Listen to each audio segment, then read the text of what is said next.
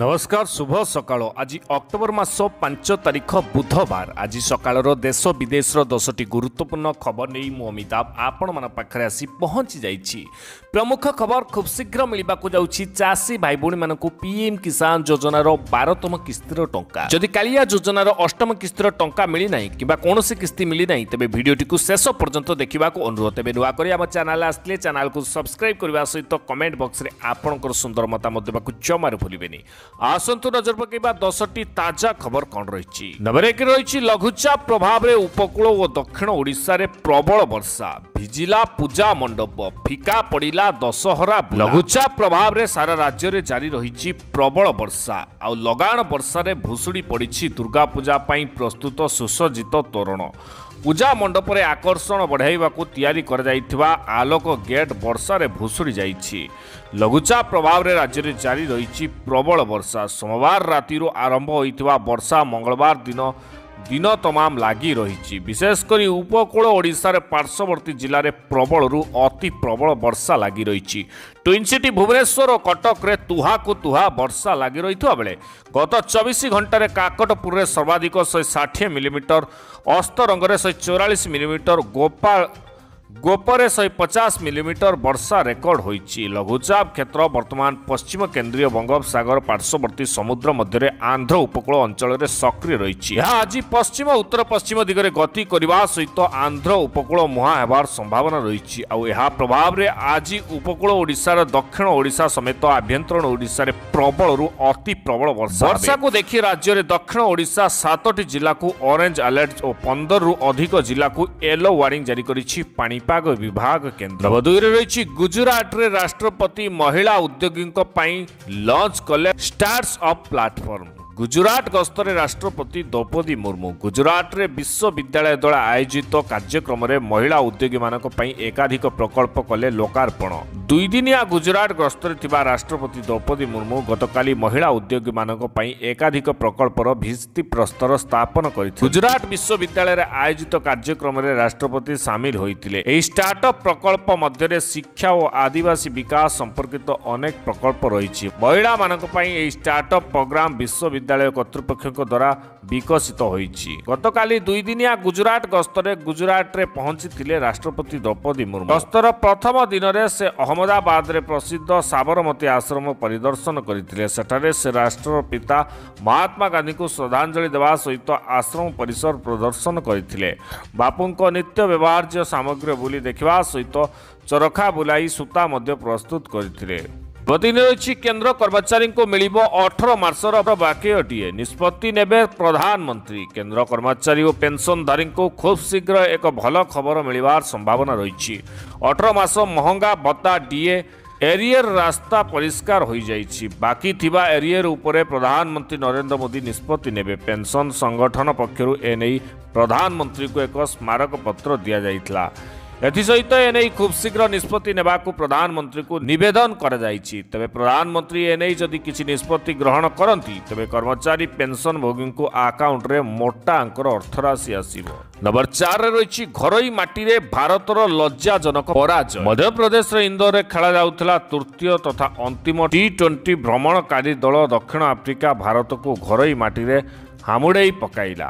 ଫଳରେ ସ୍ୱରୂପ ଦକ୍ଷିଣ ଆଫ୍ରିକା ଭାରତକୁ ଅଣପଚାଶ ରନ୍ରେ ପରାସ୍ତ କରିଦେଲା। ତେବେ ଖେଳରେ ଟସ୍ ଜିତି ଭାରତ ପ୍ରଥମେ ବୋଲିଂ ପାଇଁ ନିଷ୍ପତ୍ତି ନେଇଥିବା ବେଳେ ଖେଳ ଦମଦାର ଷ୍ଟାଇଲରେ ଆରମ୍ଭ କରାଯାଇଥିଲା କିନ୍ତୁ ଦକ୍ଷିଣ ଆଫ୍ରିକା ଦଳ ଭାରତର ଆଶାକୁ ପାଣିରେ ମିଶାଇ ଦେଇଥିଲା।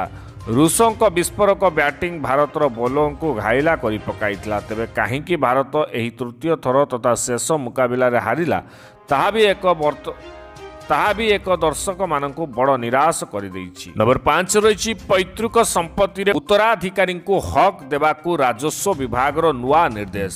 ଦୀର୍ଘ ଦିନ ଧରି ପଡ଼ି ରହିଥିବା ଜମିଜମା ବିବାଦ ସମାଧାନ ହେବ କି? ସହଜ ହେବ କି ଉତ୍ତରାଧିକାରୀଙ୍କୁ ସତ୍ତ୍ୱ ହସ୍ତାନ୍ତରଣ କରିବା? ଏହିସବୁ ସମସ୍ୟାର ସମାଧାନ ପାଇଁ ରାଜ୍ୟ ସରକାର ଆଣୁଛନ୍ତି ନୂଆ ନିୟମ। ପୈତୃକ ସମ୍ପତ୍ତିର ଉତ୍ତରାଧିକାରୀଙ୍କୁ ହକ୍ ଦେବା ପାଇଁ ରାଜସ୍ୱ ବିଭାଗ ନୂଆ ନିର୍ଦ୍ଦେଶନାମା ଜାରି କରିଛନ୍ତି। ରାଜ୍ୟରେ ସମସ୍ତ ଜିଲ୍ଲାପାଳଙ୍କୁ ଜାରି ହୋଇଥିବା ନିର୍ଦ୍ଦେଶନାମା ଅନୁସାରେ ଉଣେଇଶହ ନବେ ମସିହା ଅର୍ଥାତ୍ ଦୀର୍ଘ ବତିଶ ବର୍ଷ ଭିତରେ ଆଉ ସେଟଲମେଣ୍ଟ ନାହିଁ ଯାହାଫଳରେ ପୈତୃକ ସ୍ୱତ୍ୱାଧିକାର ସେମାନଙ୍କୁ ଉତ୍ତରାଧିକାରୀ ଉତ୍ତରାଧିକାରୀଙ୍କ ପାଖକୁ ହସ୍ତାନ୍ତରରେ ସମସ୍ୟା ଉପୁଜିଛି ପିଏମ୍ କିଷାନ ଭଳି ସରକାରୀ ଯୋଜନା ଯେଉଁଥିରେ ଚାଷୀଙ୍କ ନାଁ ସତ୍ତ୍ୱେ ଜମିପଟା ଥିବା ସର୍ତ୍ତାବଳୀ ରହୁଛି ସେ କ୍ଷେତ୍ରରେ ଏସବୁ ଯୋଜନାରେ ସାମିଲ ହେବାରୁ ବଞ୍ଚିତ ରହିଛନ୍ତି ହିତାଧିକାରୀ। ସେହିପରି ଚାଷୀଙ୍କୁ ଇନପୁଟ୍ ସବସିଡି ଓ ବ୍ୟାଙ୍କ ଋଣ ନେବାରେ ମଧ୍ୟ ସମସ୍ୟା ହେଉଛି। ଉକ୍ତ ସମ୍ପତ୍ତି ରାଜସ୍ୱ ମଧ୍ୟ ଠିକଣା ଭାବରେ ମିଳିପାରୁନାହିଁ ଏହାକୁ ଦୃଷ୍ଟିରେ ରଖି ଜମି ମାଲିକାନା ପରିବର୍ତ୍ତୀ ବେଳେ ରାଜସ୍ୱ ନିରୀକ୍ଷଣମାନେ ସମ୍ପୂର୍ଣ୍ଣ ରାଜସ୍ୱ ଗ୍ରହଣ କରି ଠିକଣା ସତ୍ୱର ପ୍ରଦାନ କରିବା ଦିଗରେ କାର୍ଯ୍ୟକାରୀ କରିବେ ବୋଲି ଚିଠିରେ ଲେଖାଯାଇଛି ନମ୍ବର ଛଅରେ ରହିଛି ଭାରତରେ ପ୍ରଥମ କାଶ୍ମୀରରେ ସଂରକ୍ଷଣ ବ୍ୟବସ୍ଥା ଘୋଷଣା କଲେ ଅମିତ ଶାହା କେନ୍ଦ୍ର ସ୍ୱରାଷ୍ଟ୍ର ମନ୍ତ୍ରୀ ଅମିତ ଶାହା ଜମ୍ମୁ କାଶ୍ମୀରର ରଜୌରୀ ରାଲିରେ ସମ୍ବୋଧନ କରି ସଂରକ୍ଷଣ ବ୍ୟବସ୍ଥା ଲାଗୁ ହେବା ସମ୍ପର୍କରେ ଘୋଷଣା କରିଛନ୍ତି କାଶ୍ମୀରରେ ରହୁଥିବା ଗୁଜ୍ଜର ଓ ବକୱାଲଙ୍କ ବ୍ୟତୀତ ପାହାଡ଼ିଆ ସମ୍ପ୍ରଦାୟର ଲୋକମାନଙ୍କ ପାଇଁ ଖୁବ୍ ଶୀଘ୍ର ସଂରକ୍ଷଣ ବ୍ୟବସ୍ଥା ଲାଗୁ ହେବ ବୋଲି ସେ କହିଛନ୍ତି। ଅନୁସୂଚିତ ଜନଜାତି ଏସ୍ଟିଙ୍କ ଭଳି ଏଭଳି ସମ୍ପ୍ରଦାୟ ଲୋକଙ୍କୁ ମଧ୍ୟ ଶିକ୍ଷା ଓ ଚାକିରି କ୍ଷେତ୍ରରେ ସଂରକ୍ଷଣ ମିଳିବ। ଯଦି ପାହାଡ଼ିଆ ସମ୍ପ୍ରଦାୟର ଲୋକେ ଏସ୍ଟି ମାନ୍ୟତା ପାଇବେ ତେବେ ତାହା ପ୍ରଥମ ଥର ପାଇଁ ଭାରତରେ ଏପରି ଘଟଣା ଘଟିବ। ଭାରତରେ ଏଯାଏଁ ପାହାଡ଼ିଆ ସମ୍ପ୍ରଦାୟର ଲୋକମାନଙ୍କ ପାଇଁ କୌଣସି ପ୍ରକାର ସଂରକ୍ଷଣ ବ୍ୟବସ୍ଥା ଲାଗୁ ହୋଇନାହିଁ। ନମ୍ବର ସାତ ରହିଛି ଶାନ୍ତି ସ୍ଥାପନ ପାଇଁ ଜେଲେ ଜେଲେନ୍ସ୍କିଙ୍କୁ ମୋଦିଙ୍କ ପରାମର୍ଶ। ଭଲ୍ଡିମିର ଜେଲେନ୍ସ୍କିଙ୍କ ସହ କଥା ହେଲେ ପ୍ରଧାନମନ୍ତ୍ରୀ ନରେନ୍ଦ୍ର ମୋଦି। ପୂର୍ବ ୟୁରୋପୀୟ ଦେଶଗୁଡ଼ିକରେ ଥିବା ଆଣବିକ ପ୍ରତିଷ୍ଠାନ ସୁରକ୍ଷାକୁ ନେଇ ଟେଲିଫୋନ୍ ବାର୍ତ୍ତାଳାପ କରିଛନ୍ତି ମୋଦି ଓ ଜେଲେନ୍ସ୍କି। ୟୁକ୍ରେନ୍ର ରାଷ୍ଟ୍ରପତି ଭ୍ଲାଦିମିର ଜେଲେନ୍ସ୍କିଙ୍କ ସହ କଥା ହୋଇଛନ୍ତି ନରେନ୍ଦ୍ର ମୋଦି। ପୂର୍ବ ୟୁରୋପୀୟ ଦେଶ ଏବଂ ଭାରତର ଆଣବିକ ପ୍ରତିଷ୍ଠାନର ସୁରକ୍ଷାକୁ ନେଇ ଟେଲିଫୋନ୍ ବାର୍ତ୍ତାଳାପ କରିଛନ୍ତି ମୋଦି ଓ ଜେଲେନ୍ସ୍କି। ତାହା ସହିତ ୟୁକ୍ରେନ୍ ରୁଷିଆ ମଧ୍ୟରେ ଚାଲିଥିବା ଯୁଦ୍ଧକୁ ନେଇ ମଧ୍ୟ ଉଭୟଙ୍କ ମଧ୍ୟରେ ଆଲୋଚନା ହୋଇଛି। ହିଂସା ପଥ ଛାଡ଼ି ଶାନ୍ତିର ରାସ୍ତା ଆପଣାଇବାକୁ ମୋଦି ୟୁକ୍ରେନ୍ ଭଲୋଡିମ୍ର ଜେଲେନ୍ସିଙ୍କ ସହିତ ଆଲୋଚନା କରିଛନ୍ତି। ଯୁଦ୍ଧ ଛାଡ଼ି ଆଲୋଚନା ମାଧ୍ୟମରେ ସମସ୍ୟାର ସମାଧାନ ଦିଗରେ ବାଟ ବାହାର କରିବାକୁ ପରାମର୍ଶ ମଧ୍ୟ ଦେଇଛନ୍ତି। ରହିଛି ପୁରୀରେ ଆରମ୍ଭ ହେଲା ଦେଶର ଦ୍ୱିତୀୟ ବେଦ ବିଦ୍ୟାଳୟ।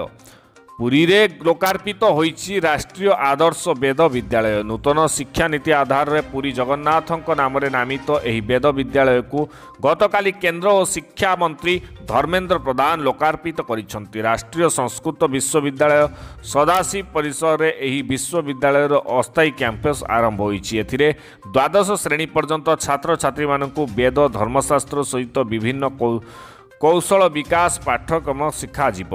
ସର୍ବଭାରତୀୟ ସ୍ତରରେ ସମୁଦାୟ ପାଞ୍ଚଟି ଏଭଳି ବିଦ୍ୟାଳୟ ପ୍ରତିଷ୍ଠା ହୋଇଥିବା ବେଳେ ପୁରୀରେ ଏହା ଆରମ୍ଭ ହେବାର ଗୌରବମୟ ବିଷୟ ପାଲଟିଛି। ନବନର ରହିଛି ଖୁସି ଖବର ଖାଇବା ତେଲ ଆଳୁ ପିଆଜ ସମେତ ଏଗାରଟି ସାମଗ୍ରୀର ମୂଲ୍ୟ କମିଲା।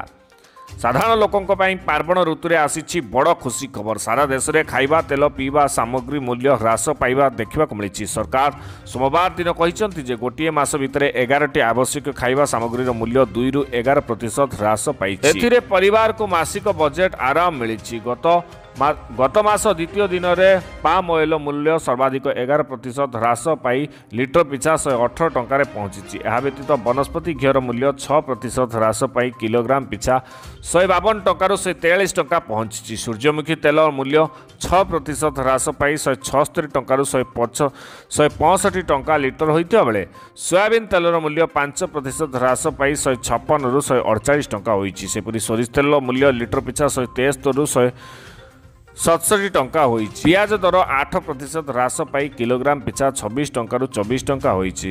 ଏଥିସହିତ ଆଳୁର ମୂଲ୍ୟ ସାତ ପ୍ରତିଶତ ହ୍ରାସ ପାଇ କିଲୋଗ୍ରାମ ପିଛା ଅଠେଇଶ ଟଙ୍କାରୁ ଛବିଶ ଟଙ୍କା ହୋଇଛି।